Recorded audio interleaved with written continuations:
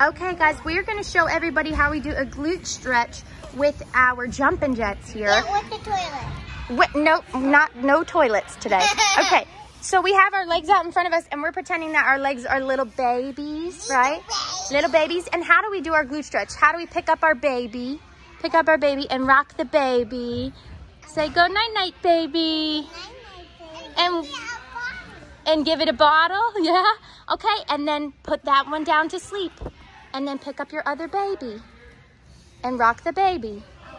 Good, try to get that baby really, really close to you so you could give it a good night kiss. Girls, bring the baby really, really close to you. Really up high on your shoulder. Good. All right, ladies, put your baby down. Are we ready to do a song now? Yeah. Here we are. We are here doing a stretch, a glute stretch with our tippy toe tumblers. Let's put both of our legs first out in front of us.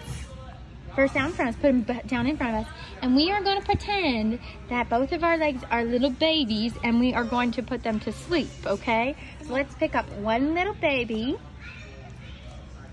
and rock it to sleep. Now, how do we make it really stretch?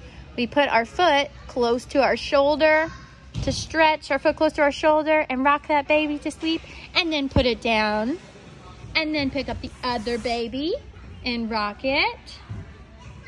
And where is it stretching? Where do you feel it stretching, girls? Where?